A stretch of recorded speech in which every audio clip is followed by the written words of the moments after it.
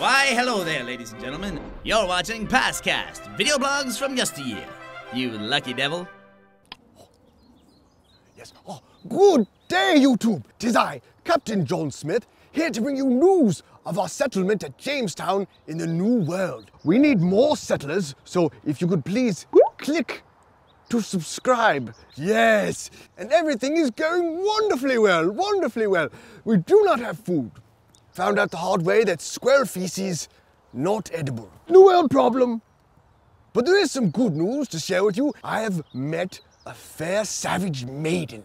Her name is Pocahontas. I know, right? I'd like to Pocahontas, if you know what I mean. and I know you do, you dirty YouTubers. Pocahontas. Pocahontas, don't be shy. She's shy like an animal of these parts. Savage! You come here now! Obey your English lord! You're embarrassing me. Yes, yes, yes. No, it's...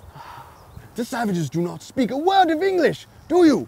Heathen savage, as dumb as a mule. Pilgrims landed on Plymouth Rock, but she's going to land on my Plymouth cock. Ho!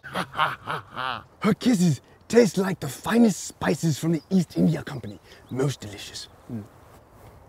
How? How are you, good savage?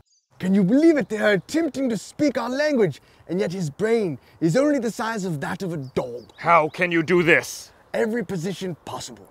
Do you know how many summers have passed since her birth? No, but I have seen her full moon. Twelve. Uh-oh. She is 12 years old. Oh, this is new information. Twelve? You've got to be kidding me. Ah, ah, ah, Mr. Hontus, you make an excellent point, sir. Perhaps I could propose a solution. I suggest we all get together for a, a day of feast and, and thanks, a giving of thanks, and you could bring the food because you have that, and we could bring um, blankets. Blankets, yes. We bring.